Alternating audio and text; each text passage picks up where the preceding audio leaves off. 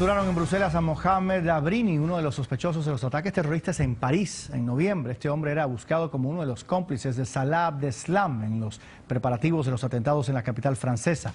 Las autoridades intentan confirmar si este también es el hombre del sombrero, cuyas imágenes difundimos ayer. De ser así, sería una pieza clave en los dos ataques llevados a cabo por el Estado Islámico que dejaron 130 víctimas fatales en París y 32 en Bruselas. Hola, queridos internautas de YouTube. ¿Te gustó el noticiero? Suscríbete a nuestro canal, así podrás seguirnos viendo.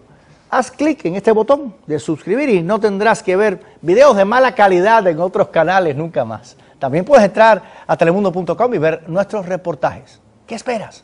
Suscríbete.